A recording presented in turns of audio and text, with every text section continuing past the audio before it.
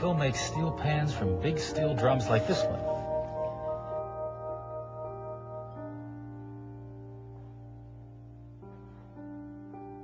To make each pan, he needs to do a lot of noisy pounding. Mm-hmm. So before he begins, he wraps a blanket around the drum to soften the noise.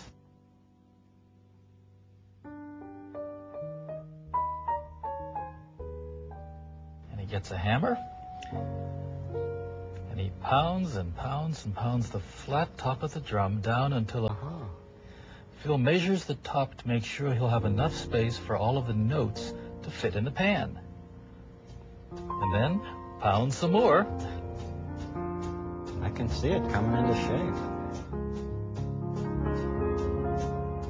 Now it's time to form each note of the steel pan.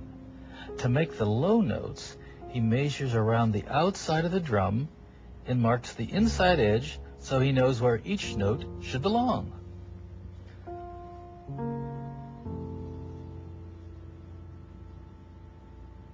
My, this is complicated, isn't it? And from those marks, he draws the shape of each note.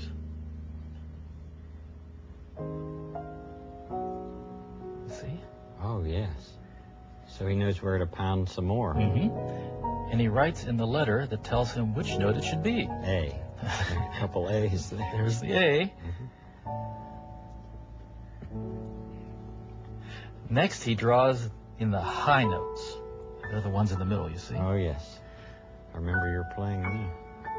To get just the right shape, he traces around these metal pieces, and they're called templates. Templates? Mhm. You know, shape seems to be very important for this steel pan. Oh, it is.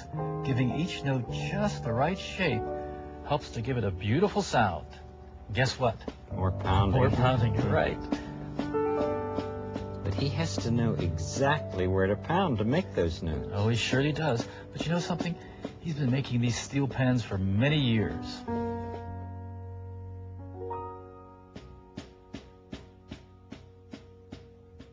Is he already finished? Oh, oh, not yet. He cleans it a little, and then he takes off the blanket.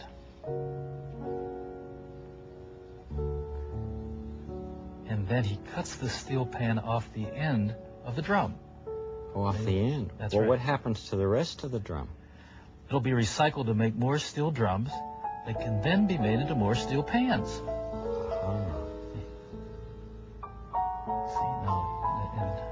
Seconds here, you'll see the steel pan. You'll take it off the end. There you are. Oh, and that's going to be the instrument. Mm-hmm.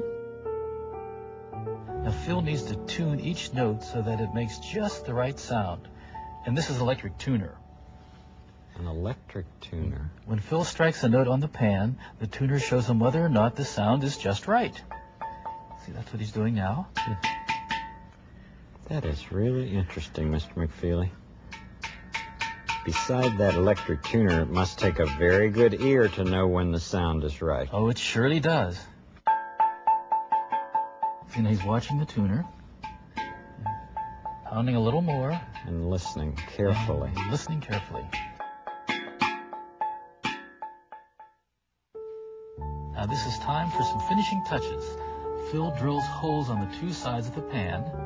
He uses another template to help him. hmm What's that for, those holes? Well, he's going to put some wire in the holes. In just a second, you'll be seeing him do that. He puts it in. There, there we are. And they make handles. I see. And you can carry it around and, and lift it up onto the stand. Uh-huh. He cleans the pan with some polish and a cloth. That's what he's about to do now. Must have been fun to watch him do Oh, it this yourself. fun. I enjoy to see how things are made. hmm How people make things. There's, Oh. there's a double stand. You see? It's putting it on. Gee, it looks beautiful. You know, and it sounds beautiful. Mm-hmm. Just listen a minute. All right.